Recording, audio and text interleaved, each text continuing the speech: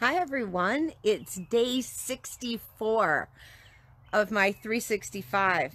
And today I am grateful for being a confident, strong woman who is not at all feeling threatened anymore by other women as competition.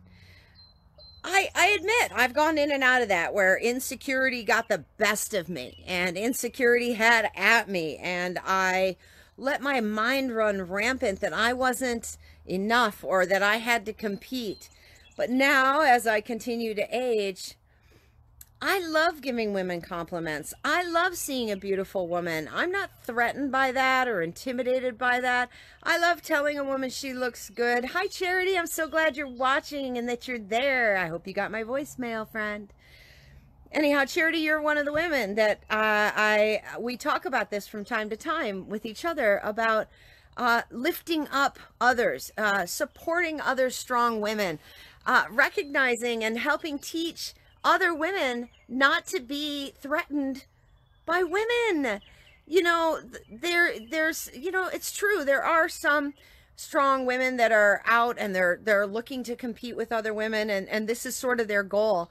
And one of the things I love is when you can pick up on that instead of being threatened by it is to be nice to them or rise above it and not not not give them the feed, not to feed their their fears or their hunger at all. And to me, what am I grateful for? I'm grateful that I am confident enough in my own skin to know that I love seeing a good, strong woman. I love opposing views. I love women of all shapes, sizes, colors, races, personalities, religions, doesn't matter. I like a strong woman who's going to talk with confidence and honesty and integrity and upfrontness.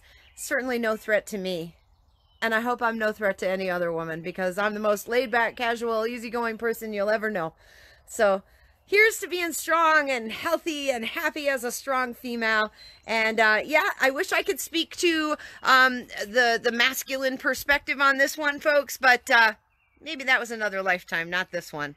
Well, actually, I can say for sure, I'm pretty sure I was a man in lots of other lifetimes, but not this one. Bye, everybody.